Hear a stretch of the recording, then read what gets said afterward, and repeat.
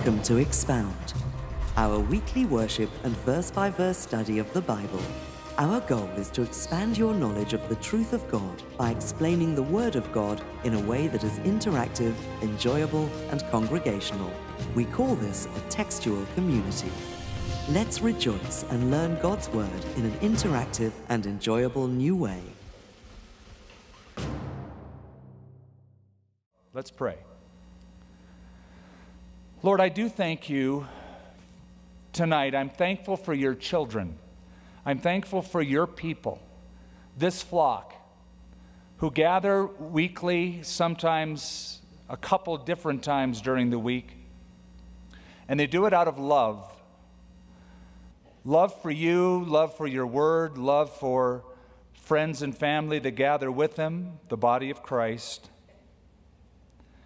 We're thankful that you have given to us your mind, your heart, your will, and the pages of Holy Scripture. We believe it to be your word. And we pray that it would speak to us, that we would be informed about it, inspired by it, and motivated to live it. All of us face different circumstances all of us face challenges. We're here also in part because we declare you are able to take us from this place to work in our lives and to fix anything, to do anything, to heal anyone, to work in every situation. We simply now submit to your sovereign hand in Jesus' name, amen.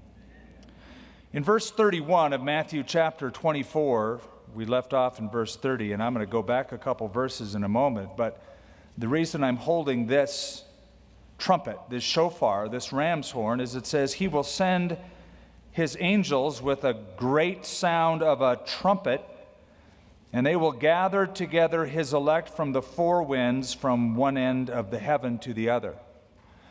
And I just brought this because we often read Scripture and we read into the Scripture our own experiences. You think of a brass or a silver trumpeter.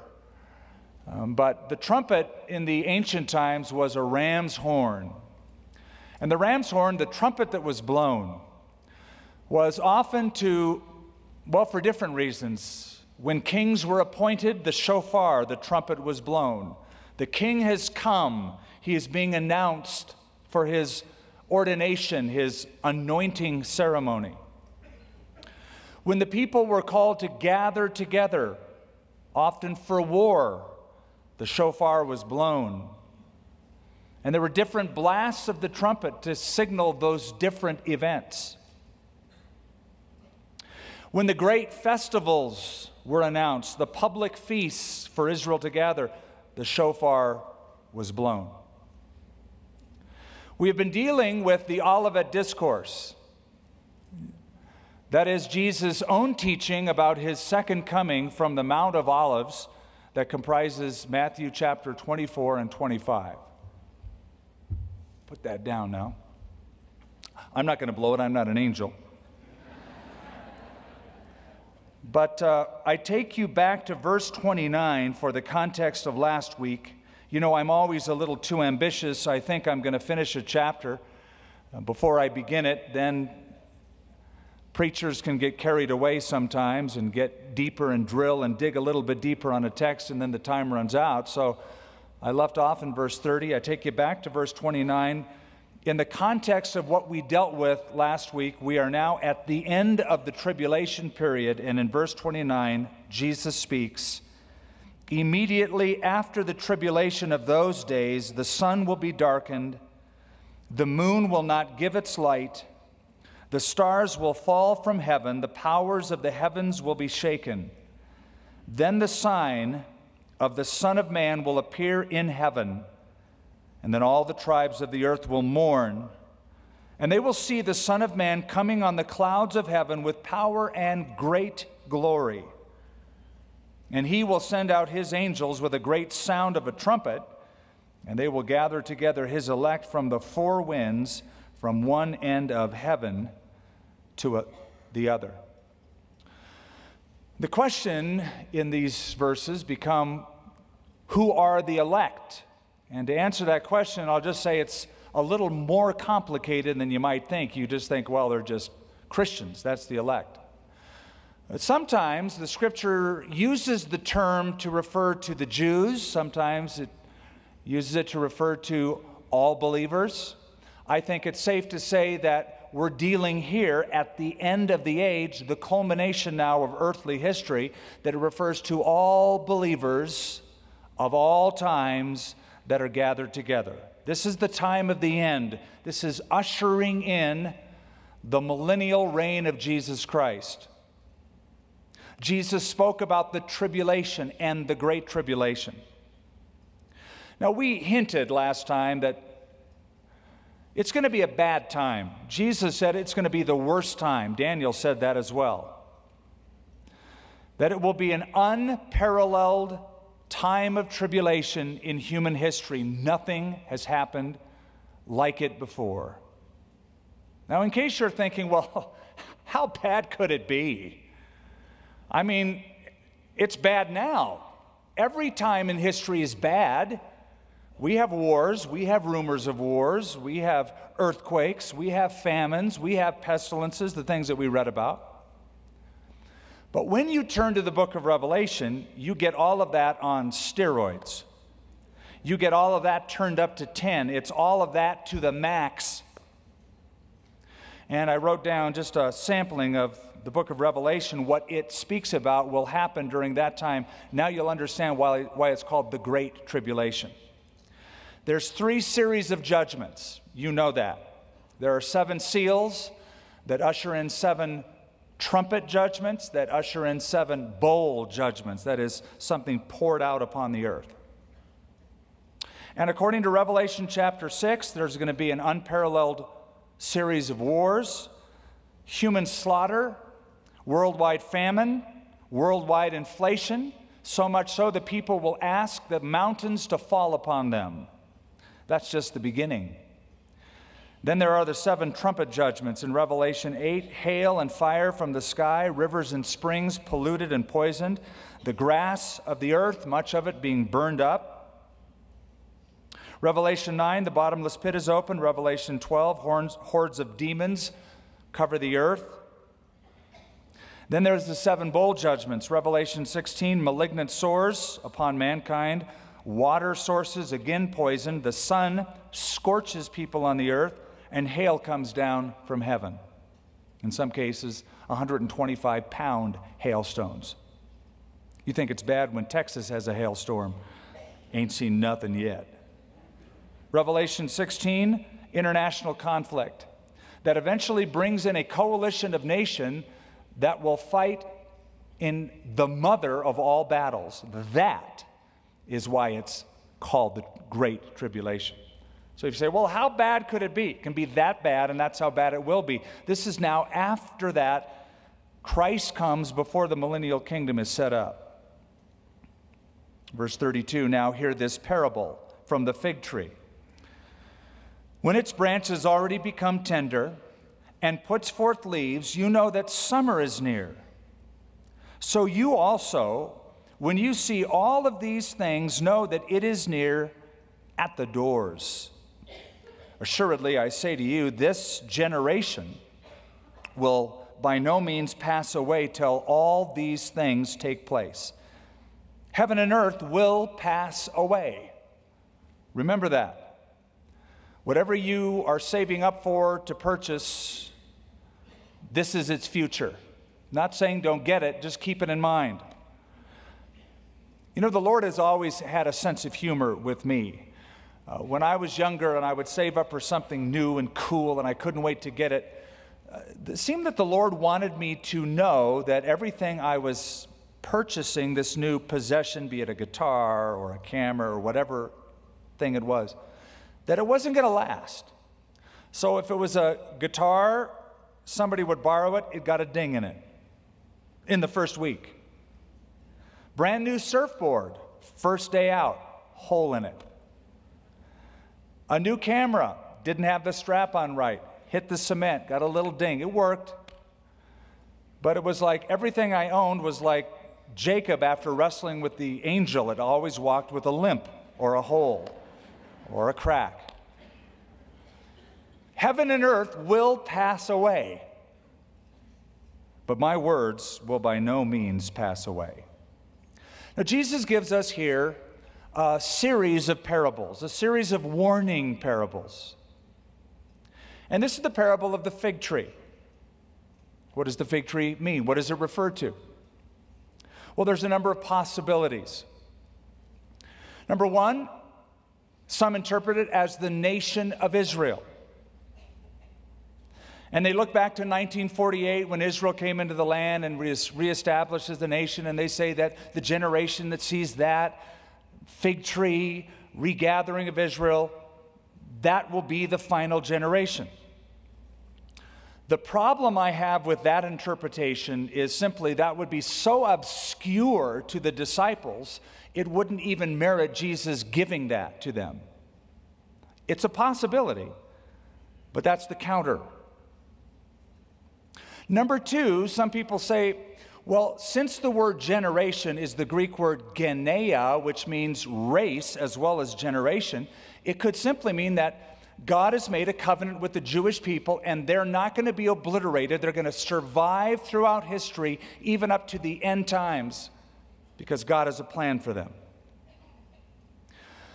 A third possibility is that we just take it as a straightforward illustration of what you see happening now gives you an indication of what is coming next. Let me explain. In the parallel account of Matthew 24 in the Gospel of Luke, that's Luke chapter 21, Jesus said this Look at the fig tree and all the trees. So he included other trees, species besides the fig. And he said, When you see it bringing forth leaves, you know that summer is near.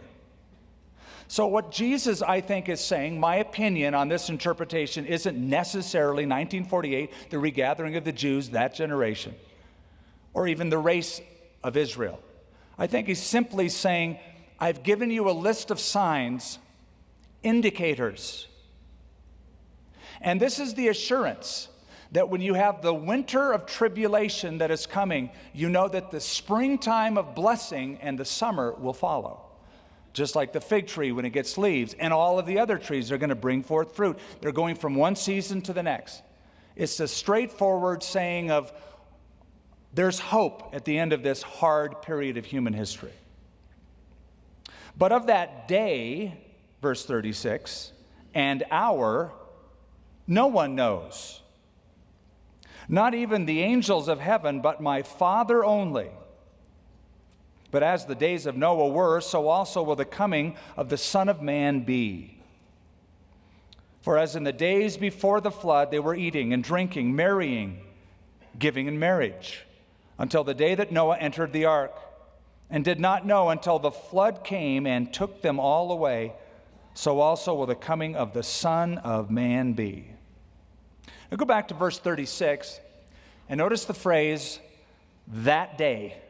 But of that day and that hour, no one knows. What day is he talking about? Well, what day has he been talking about? Let me, let me ask it to you this way and see if you know the answer to it. All that Jesus has been discussing in Matthew 24 is given a title in the Old Testament that is used over and over again by the prophets, and it's called the day of the Lord. The day of the Lord isn't a 24 hour day, it's a period of time that will unfold many events. In this case, the ultimate final judgments where God, the Lord, intervenes in human history. That's the day of the Lord. Of that day and the hour, that is the beginning of the day. No one knows, not even the angels in heaven, but my Father only. The day of the Lord, I believe, this is my theology, this is my eschatology. I can't speak for all of you. This is what I believe the Bible clearly says. The day of the Lord, that final period on earth, known in Daniel as Daniel's 70th week, That seven year period, that day of the Lord, will begin with the rapture of the church. That's my belief. You can send me stuff in the mail and email and say, but you got to read this book, and what about that? But I've read them all. That's what I strongly believe the scripture teaches. When that day will begin by that event of the rapture, no one knows. Now, every now and then, somebody will forget this is in the Bible and say, I know. And I am absolutely amazed at how many Christians are duped by these would be prophets. I remember clearly in 1988. Good, some of you are snickering because you know where I'm going with this. There was a little booklet put out called 88 Reasons Why Jesus Was Going to Return on Rosh Hashanah in 1988. Remember that book? Anybody remember that? Okay, then you guys are just like too young. I'm pre- preaching to the wrong crowd.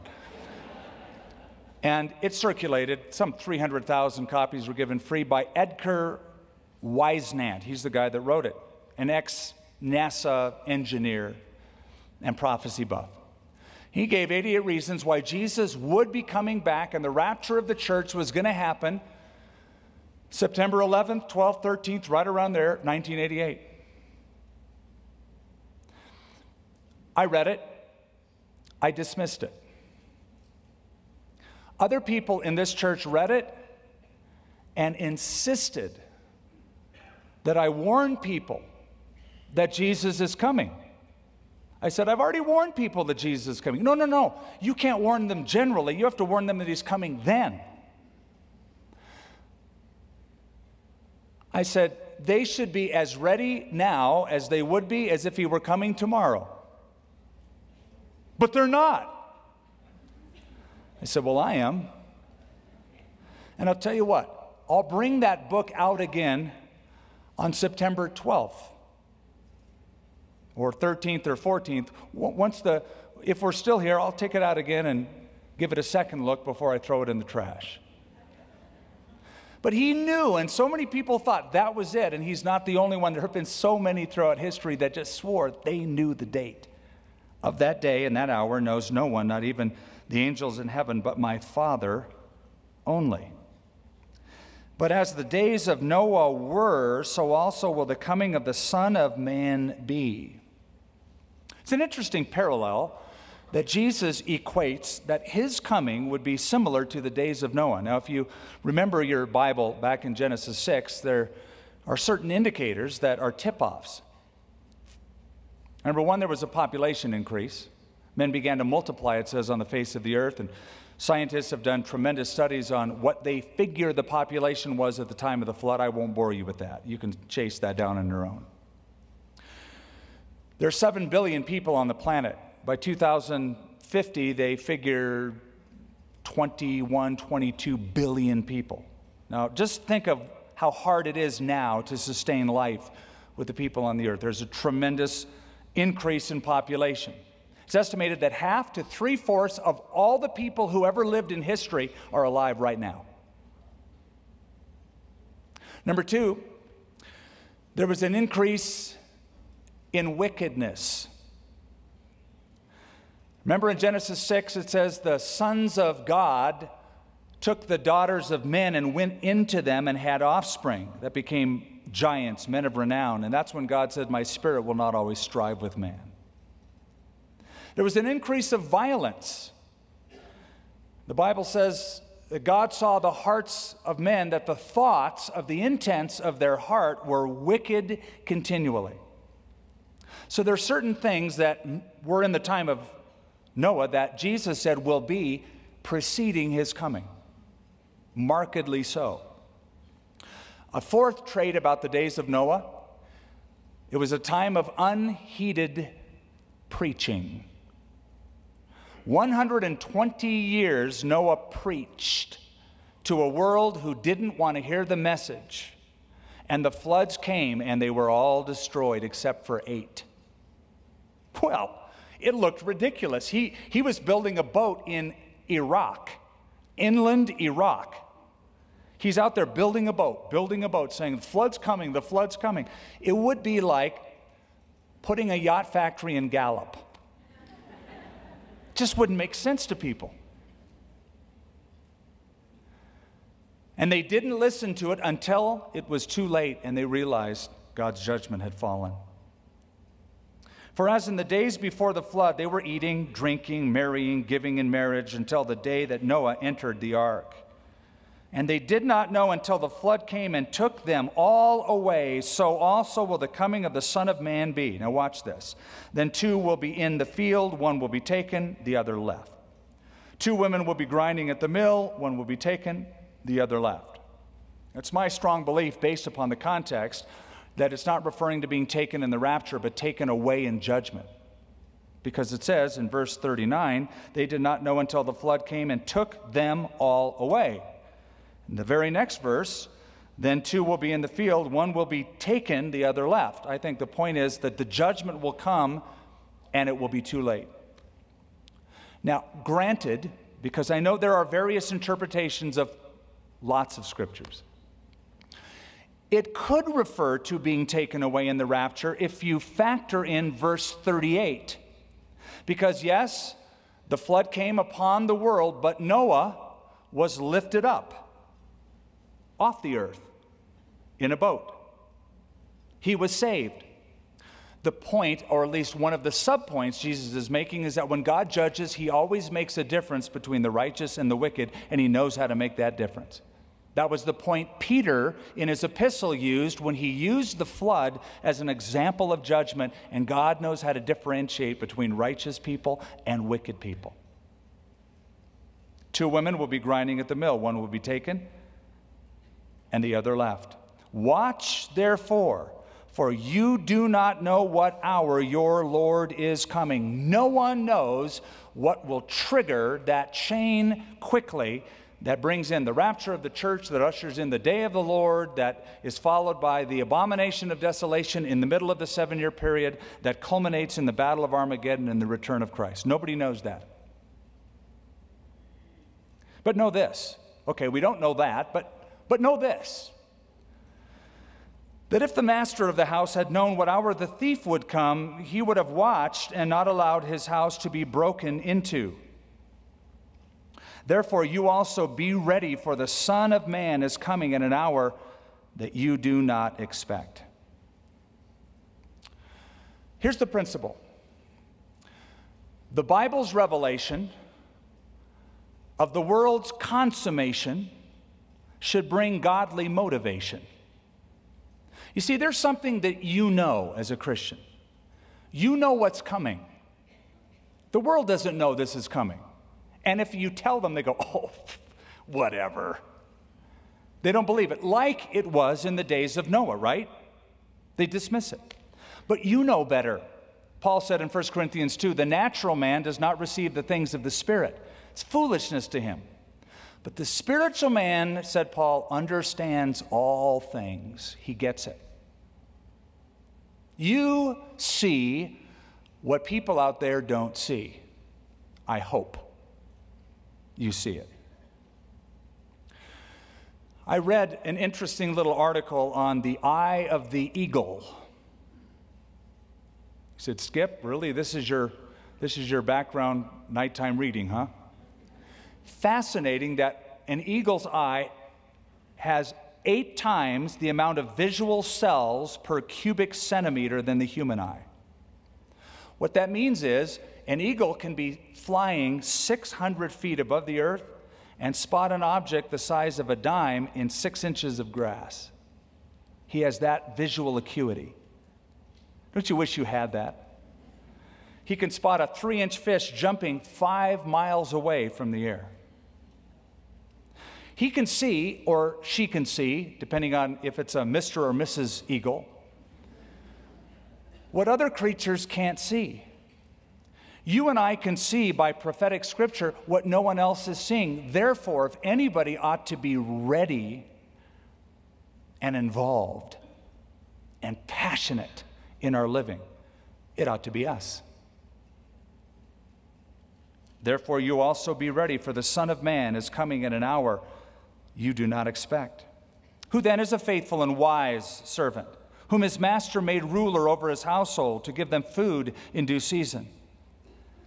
Blessed is that servant whom his master, when he comes, will find so doing. Assuredly, I say to you that he will make him ruler over all his goods. But if that evil servant says in his heart, My master is delaying his coming, and begins to beat his fellow servants and to eat and drink with drunkards, the master of that servant will come on a day when he is not looking for him, at an hour when he is not aware of and will cut him in two and appoint him his portion with the hypocrites, there will be weeping and gnashing of teeth. How do you get ready for Jesus coming? Number one, get saved. Get saved. If you trust in the finished work of Jesus Christ on your behalf on Calvary's cross that he shed his blood and you received by an act of your faith that act and that Savior as your Savior and your Lord. You believe in your heart. That's where you begin. You get saved.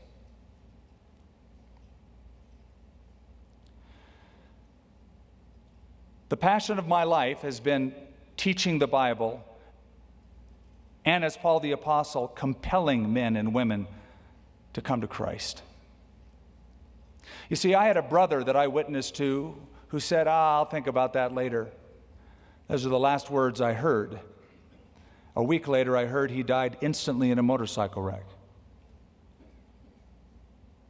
That has haunted me for years.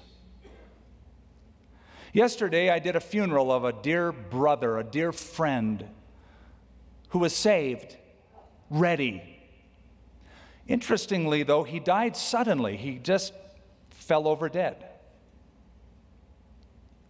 Next week, I have three more funerals one from a, of a teenager and his father, another of a woman who is 98 years old. You just never know when your time is up. But you can be ready for any event, including death or the coming of the Lord, by first of all, getting saved. It's sad but true. I heard there's a tombstone somewhere that says, Here lies an atheist, all dressed up, but no place to go. well, that's not true. There is a place for him to go or her to go, as well as anyone who believes. It's just not the same place. Eternity is very real, it's not to be toyed with. Get saved. Number two, get busy. Start growing in the Lord. Peter said, grow in the grace and the knowledge of our Lord and Savior, Jesus Christ. Never be content with where you're at now, today, tonight, in your Christian walk. What else can I learn?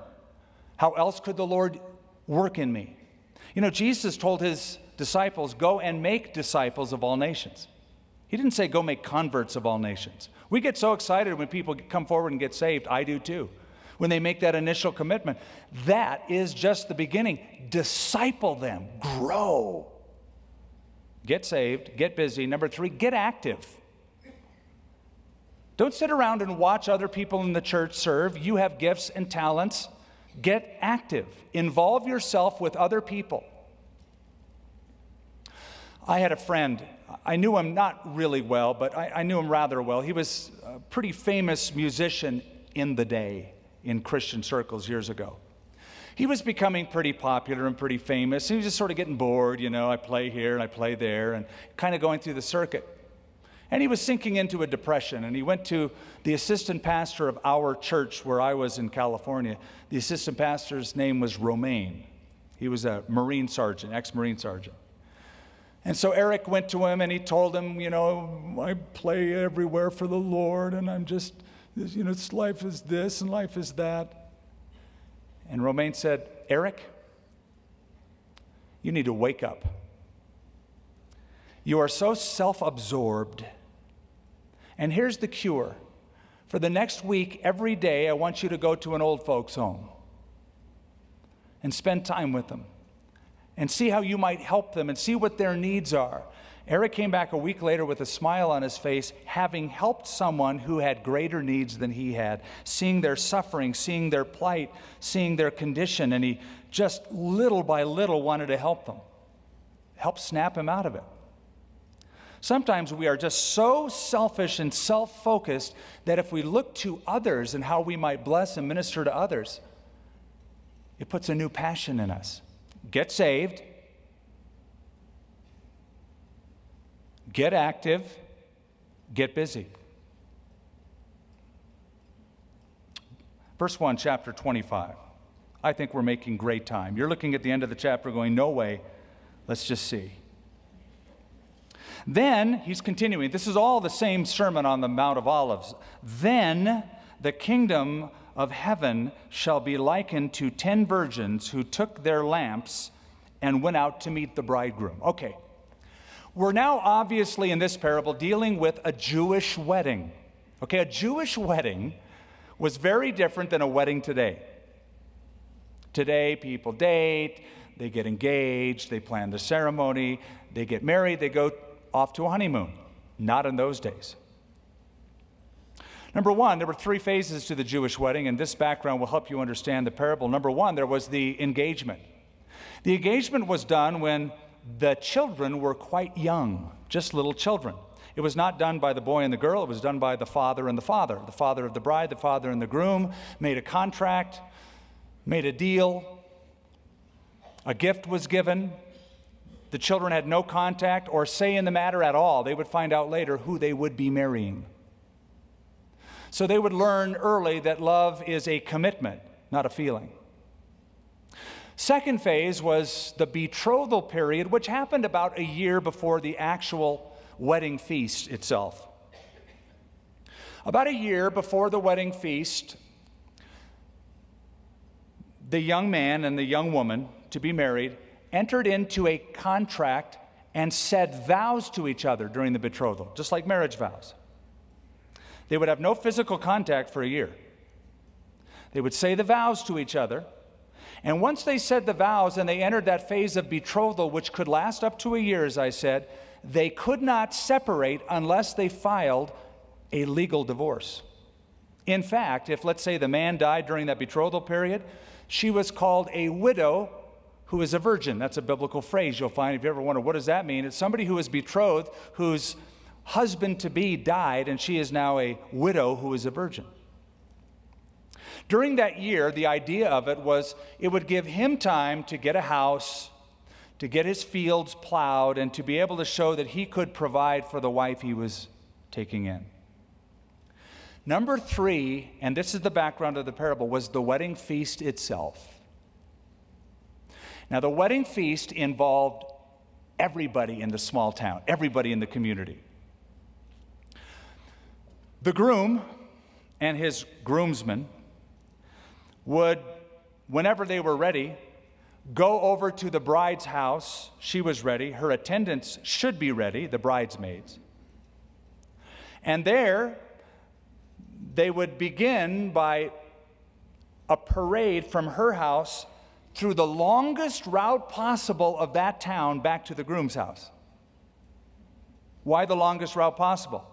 So that everybody in town could say, Congratulations, Mazel Tov and maybe throw out a coin or two, and you get a little bit more if you go through all the houses, sort of like trick or treat when you were a kid. Once they got to the groom's house, that's when the festivities began, and there was no honeymoon.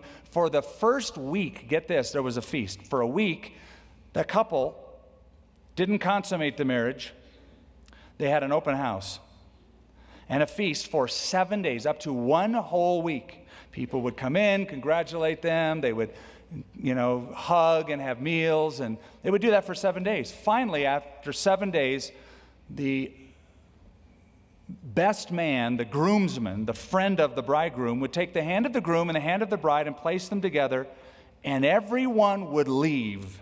It was the first time they were alone together. Everyone would leave, hopefully. Enough's enough. Get out of town, get out of this house.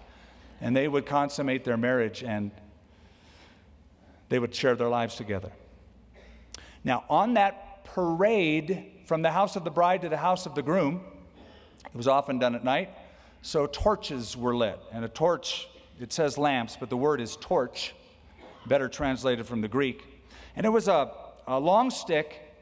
On the top was like a metal mesh wire mesh apparatus, cloth stuffed inside, olive oil soaked in that cloth.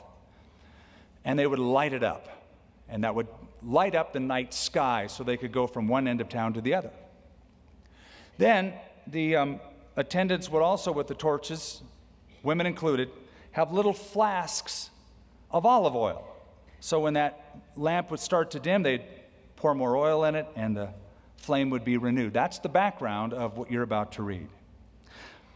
Then the kingdom of heaven shall be likened unto ten virgins who took their lamps and went out to meet the bridegroom.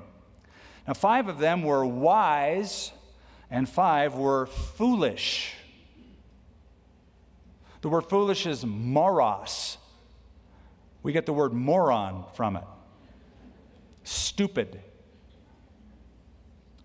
The word wise is phronimos in Greek. It means, it speaks of the brain, somebody who is attentive mentally, with it and together mentally, somebody who assesses the situation correctly. Because you never know when the groom's going to come, so you just want to be ready. That's a wise person. Plans ahead. Five were wise, five were foolish. Those who were moros took their lamps and took no oil with them. Well, that's dumb. But the wise took oil in their vessels with the lamps. But while the bridegroom was delayed, they all slumbered and slept. And at midnight, a cry was heard Behold, the bridegroom is coming, go out and meet him. Okay, so this is sort of unusual, right?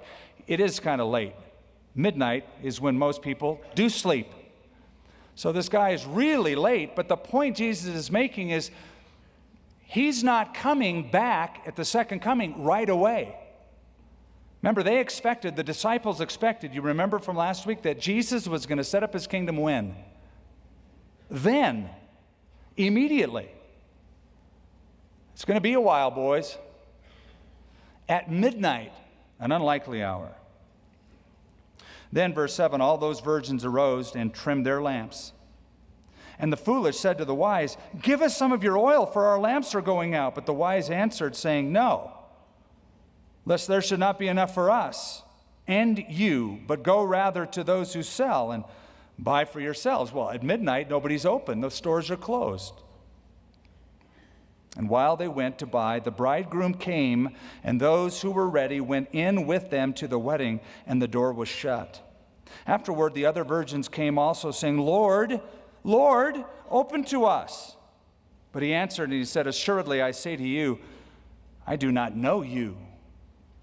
Watch therefore. That's the same message, a warning parable. Watch therefore, for you know neither the day nor the hour in which the Son of Man is coming.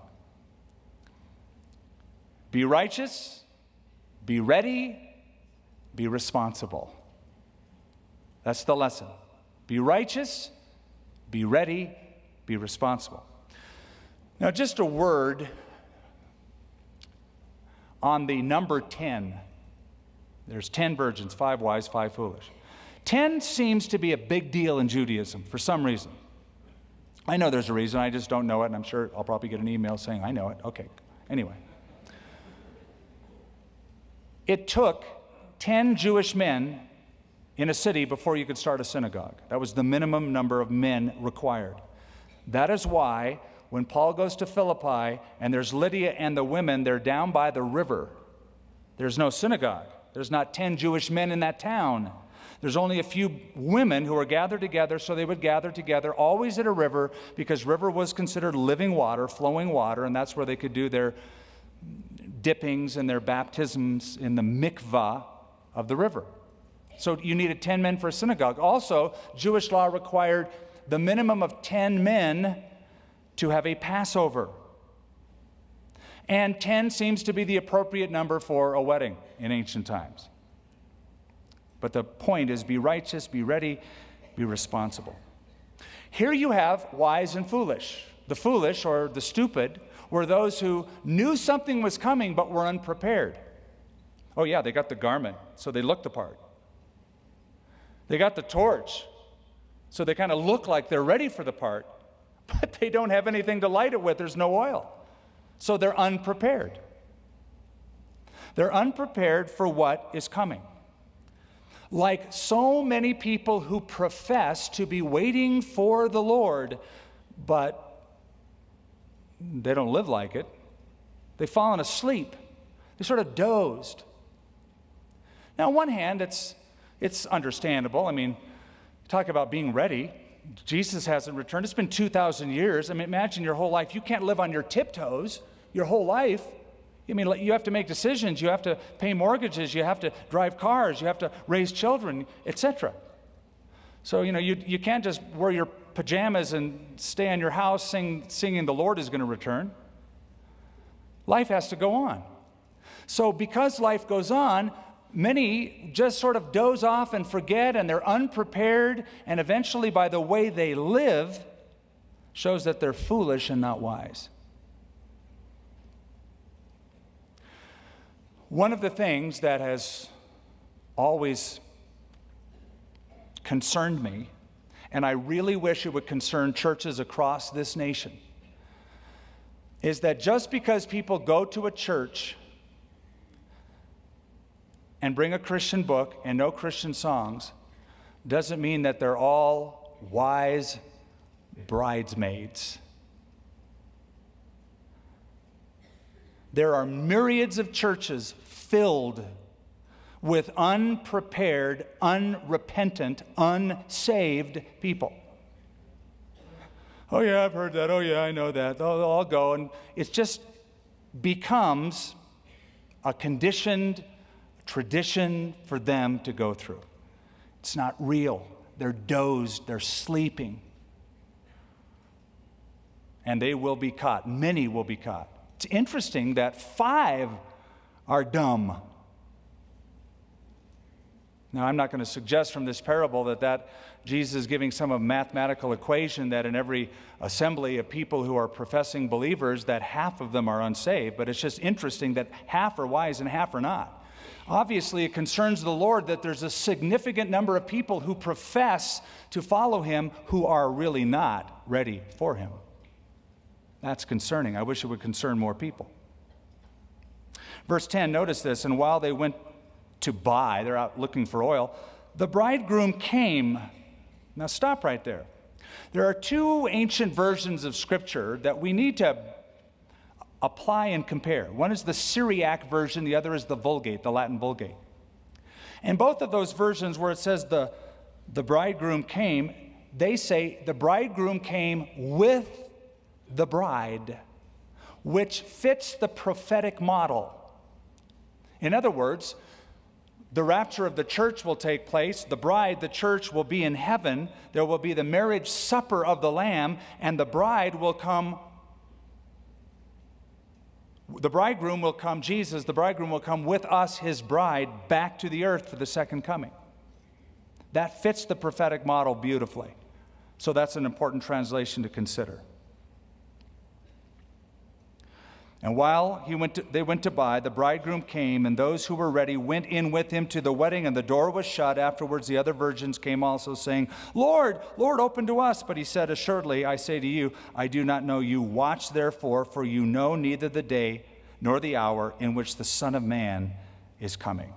There are some things that you just can't leave to the last minute and one of them is dealing with eternal things, spiritual things. You can't like put that off any longer.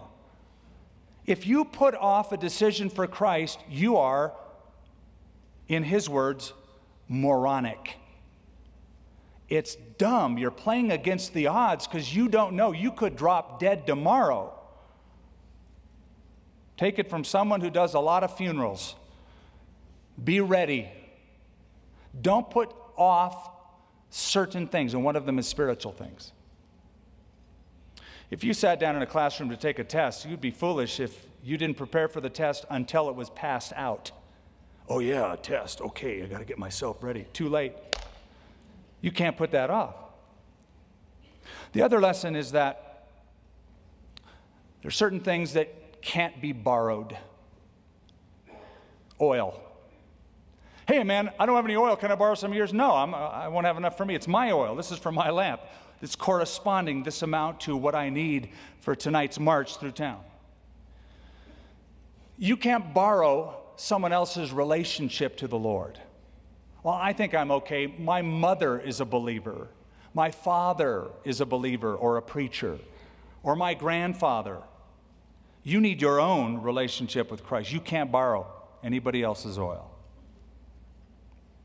Now we get to another parable, the parable of the talents. Let's see how far we get. For the kingdom of heaven is like a man traveling to a far country who called his own servants and delivered his goods to them. And to one he gave five talents, to another two, to another one, to each according to his own ability. And immediately he went on a journey. Now, you hear the word talent and you think of it in, in, an English definition of capability. And since the word ability is used in the sentence, you think talent is I'm talented or I'm not talented. I can play the guitar or I can't play the guitar. A talent was a measurement of weight and significant. A talent of silver or gold could be worth up to 20 years' wages for a working person. So he gave five, and then two, and then one. Then he who had received the five talents went and traded with them and made another five. And likewise, he who had received two gained two more also. But he who received one went and dug in the ground and hid his Lord's money. After a long time, the Lord of those servants came and settled accounts with them.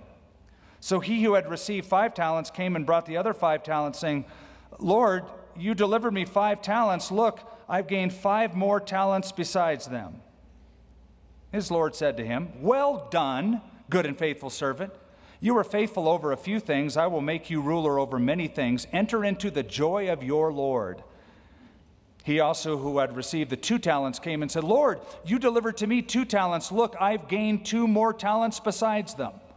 His Lord said to him, Well done, good and faithful servant. You've been faithful over a few things. I will make you ruler over many things. Enter into the joy of your Lord. Then he who had received the one talent came and said, Lord, I knew you to be a hard man reaping where you have not sown, in other words, taking what doesn't belong to you, and gathering where you have not scattered seed. Now, stop right there. That is this guy's assessment of the master. Doesn't mean that's how the master was, that's just what he said he was. Now, I find this to be incongruous because if this guy really believed his master was a hard man and did reap where he did not sow, that would give him even more incentive not to be lazy and slothful. Because otherwise, if I'm lazy and slothful, I'm really in trouble. But this was his excuse. Well, I just know you're a hard dude. And I was afraid, and I went and hid your talent in the ground. Look, there you have what is yours. His Lord answered and said to him, You wicked and lazy servant, you knew that I reap where I have not sown and gather where I have not scattered seed. You also ought to have deposited my money with the bankers and at my coming, I would have received back my own with interest. Therefore, take the talent from him and give it to him who has 10 talents. One way to see this this is money. The talent is a measurement of weight, and it's inferred here as money. But you could look at talents as your opportunity to invest what the Lord has given to you in terms of resources, time, talent, treasure, and investing your life and those resources for the sake of the kingdom of God. Are you really using what God has entrusted to you to expand the kingdom of God? It's our privilege to multiply the provision that the Lord has given to us. And God rewards according to faithfulness. So you're a unique individual. And you, as an individual, have certain opportunities, certain gifts of the Holy Spirit as, as a member of the body of Christ. You have a certain amount of monetary treasure to contribute to the body of Christ and for the work of the kingdom. All of that wrapped together is your opportunity to produce upon the provision that God has entrusted to you. Get saved, get busy, get active. That message keeps coming over and over again. Now, you and I are different, and you and the person next to you is different. you are uniquely crafted by God and you have certain contributions that I don't have. You are needed. And just like a human body, the body of Christ, the church, operates at different levels, but everyone must be faithful and God will reward according to your faithfulness. Can I just say, you can thank God that your human body doesn't act like most churches act. Members in the body of Christ who aren't content with what God has gifted them or given them or called them to be and using that and investing that in the kingdom. What if your human body was like much of the church? What if, for example, your foot, this foot wanted to go one way and this one wanted to go another way? You'd have a real difficult time getting anywhere. What if your lungs said, you know what, nobody sees me. I don't like this place of not being seen, you know? The eyes get all the glory. I want more exposure. You die of infection. What if that little master gland in the brain, the pituitary, said, I'm trapped inside the sella turcica, connected to the infundibulum. I don't like this little space in here, so crowded. I don't want to be in the endocrine system anymore and secrete stuff. You'd be dead. Every single element, every single part of your body plays a unique part and contributes to the whole body. And since we are Christ's representatives on earth, and He has entrusted us with talents, opportunities, gifts, treasures, get saved. I'm speaking to people probably mostly who are. Get busy, get active. For to everyone who has, verse 29, more will be given. To he who has, and he will have abundance, but from him who does not have, even what he has will be taken away and cast into cast the unprofitable servant into outer darkness. There will be weeping and gnashing of teeth. It would seem that in this parable the unprofitable servant is the poser believer. He proves that he doesn't have saving faith by the way he acted with his master. When the Son of Man comes in his glory and all the holy angels with him, then he will sit on the throne of his glory, and all the nations will be gathered before him, and he will separate them one from another as a shepherd divides the sheep from the goats. And he will set the sheep on his right hand, but the goats on his left. Then the king will say to those on his right hand, Come, you blessed of my father, inherit the kingdom prepared for you from the foundation of the world. For I was hungry, and you gave me food. I was thirsty, and you gave me drink. I was a stranger, and you took me in. I was naked, and you clothed me. I was sick, and you visited me. I was in prison, and you came to me. And before we quickly finish this up, unfortunately, this section has been lifted out of context by some who try to show that salvation comes by works or maintaining your salvation is by works. And somebody that I love very deeply was a great musician, but in error over this one issue, and that was a man by the name of Keith Green, who used to talk about this a lot and press this a lot, and in the early years, so legalistic, tried to show that you need to maintain by your works the salvation given to you, or you lose it. That is not the context of this. We go on and we see the righteous will answer him, saying, Lord, when did we see you hungry and feed you, or thirsty and give you a drink? When did we see you a stranger, take you in, or naked and clothe you? When did we see you sick or in prison and come to you? And the king will answer and say to them, Assuredly I say to you, inasmuch as you did it to one of the least of these, my brethren, you did it to me. And he will say to those on the left, Depart from me, you accursed, into the everlasting fire prepared for the devil and his angels. For I was hungry, and you gave me no food. I was thirsty, and you gave me no drink. I was a stranger, and you did not take me in. Naked, and you did not clothe me. Sick and in prison, and you did not visit me. And they will also answer him, saying, Lord, when did we see you hungry or thirsty or a stranger or naked or sick or in prison and did not minister to you? And he will answer them, saying, Assuredly I say to you, inasmuch as you did not do it to the least of these, you did not do it to me. Now, really quickly, most people, most theologians, most Bible commentators, don't you love that word, commentators? And some taters are more common than others. Those who give us Bible commentaries will all agree that this is dealing with the second coming of Jesus Christ, but they don't agree on the nature of this judgment. I will tell you this this is not the great white throne judgment. The great white throne judgment takes place after the millennium. It's only for unbelievers. It's the lake of fire, and it's called the second death. I'm not going to explain these terms. I'm just in closing going to share them, hoping that some of you know what they are.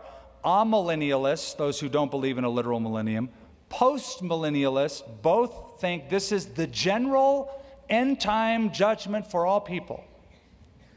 I do not. I do not because, first of all, there's no mention of resurrection that must be there before that takes place. And because the subjects who are being judged seem to be the ones who are alive when Jesus comes back at his second coming. So, the way it seems to me is that this is a judgment on the nations of the earth at the time of the second coming, end of the tribulation, and they're judged on their treatment of whom Jesus calls his brethren, which I believe are the Jewish people, the Jews, the Jewish nation, Israel. Paul spoke about my brethren, same terminology. Speak, spoke about Jewish, ethnically Jewish people. He had a heart for them. In the tribulation period, many Jews, we talked last week, will come to Christ. They will be sealed. But there will be such a wave of anti Semitism, according to Revelation 12, that will sweep through the world. Many Gentile nations will persecute Israel, but some Gentile nations will bless and be kind to them. And Jesus will have a judgment for those nations, and probably since he's divvying it out to individuals, rulers of those nations, who set the policies during that time in dealing with his brethren, the Jews. I think it's the judgment of the nations. Look at verse 41. No, let's look at verse 46 and close it off. And these will go away into everlasting punishment, but the righteous into eternal life. Now look at verse 41 as we close. Notice what he says. Then he will also say to those on the left hand, Depart from me, you cursed, into everlasting fire prepared for whom? The devil and his angels. Please mark that. God didn't make hell for people. Now, people will go there. A lot of people will go there. I'll even be bold to say most people will go there.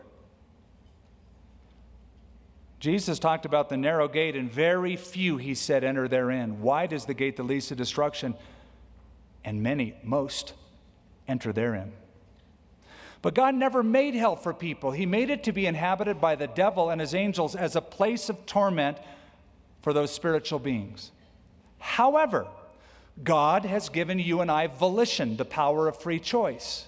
And if a person refuses to follow Christ, refuses God's plan for their life, and decides rather to follow the devil, God will let them follow the devil even to the devil's final destination, which is hell. And that is your choice. And I wish more authors would write about the rest of the story when it comes to near death experiences. Remember all the stories about, yeah, man, it was like a bright white light and I felt so warm. And you know what? I've been like a horrible person my whole life, but it's all good. Yeah, those books make the press, but you don't hear the rest of the story. One cardiologist by the name of Maurice Rawlings, a cardiologist who attended many people who were dying in the emergency room, had a different story and wrote a different book. He wrote a book called Beyond Death's Door. He uh, experienced the deaths of hundreds of patients, he says, whose hearts stopped suddenly and changed his idea about eternity. In his book, he writes, I am thoroughly convinced that there is life after death and that there are at least as many people going to hell as going to heaven. He says at one time he was an unbeliever, but now with this, he's convinced. The turning point in my own concepts occurred when a patient experienced cardiac arrest and dropped dead right in front, right in front of me in my office. Of course, that alone didn't change my thinking, but the fact that this 48 year old was screaming, I'm in hell, keep me out of hell, each time he responded to resuscitation efforts did cause me some concern. he has a knack for the understatement. He wrote, about 50% of the received, uh, 50% of the revived persons told of having gone to a place of great darkness filled with grotesque moaning and writhing bodies crying out to be rescued from this place with overwhelming feelings of eerie, nightmarish terror. He addresses in his book, Why aren't these stories being reported?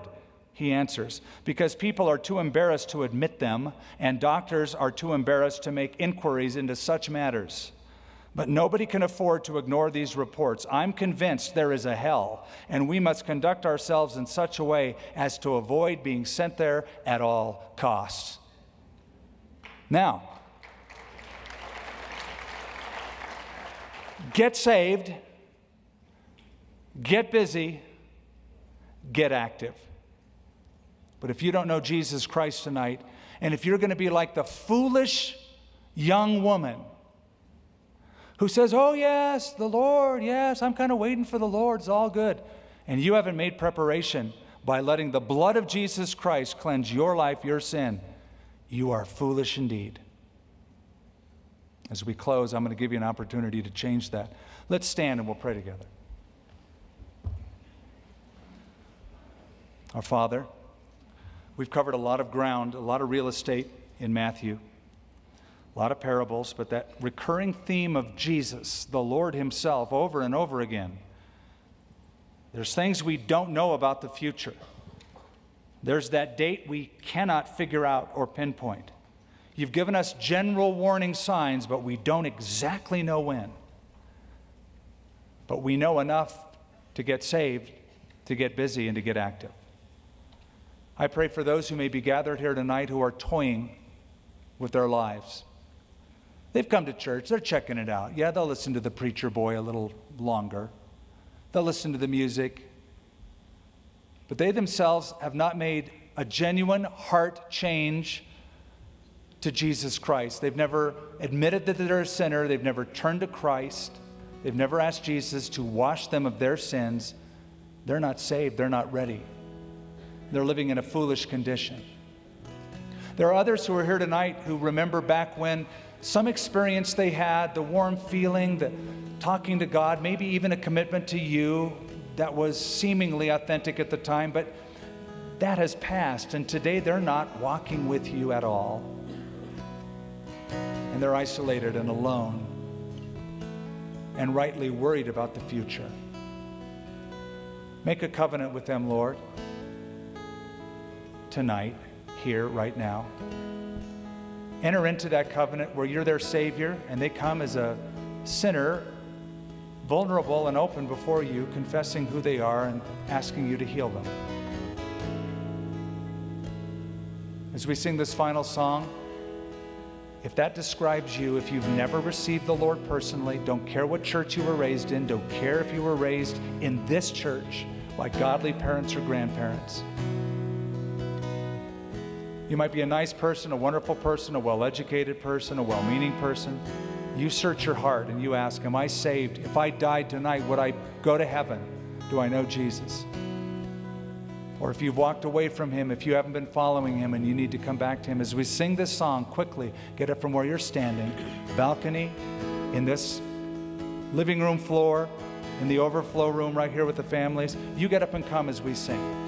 We sing and you come. We'll make provision for you right up in the front. I'll lead you in a word of prayer. Oh, to Jesus I surrender all. To Him I freely give. And I will ever love and trust Him in His presence daily.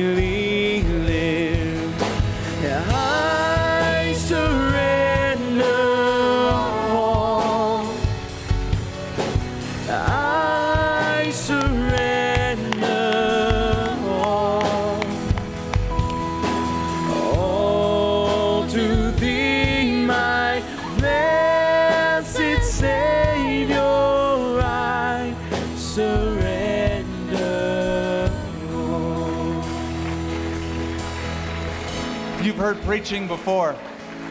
The people in Noah's time heard preaching year after year. Only eight were saved. Many are called, few are chosen. Will you be one of the elect that He has chosen? Will you cooperate with His calling in your life, His sovereign call in your life, His claim on you? You can be forgiven of anything you've ever done. Oh, but dude, I'm really bad, you might say. There's two truths that I know I am a great sinner, and Jesus is a great Savior. He'll be your Savior if you let Him, but only if you let Him. Anyone else? We'll wait for you, but come quickly, come now. This is your night. God's calling you. Get up from the back or the middle or the balcony or the front come to Christ. Let Him be your Savior and your Master. You come as we sing. Oh, to Jesus I surrender, Lord. I give myself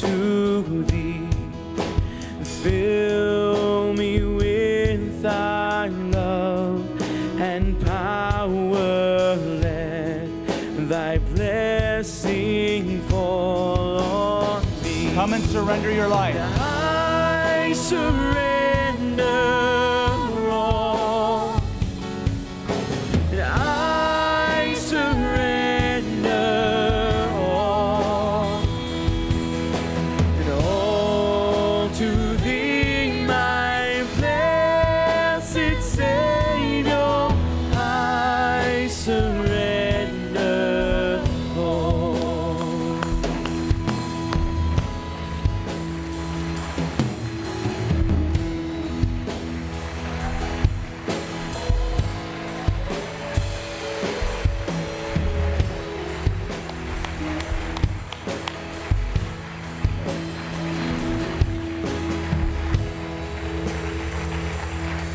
quickly now, I'm going to pray for you with you guys.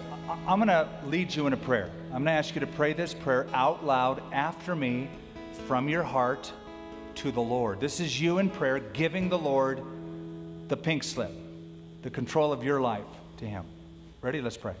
Lord, I give you my life. I admit I'm a sinner. Please forgive me. I believe in Jesus. I believe he died on the cross and that he rose from the dead, that he shed his blood for my sin. I turn from my sin. I turn to you as my Savior. In Jesus' name. Amen. Amen.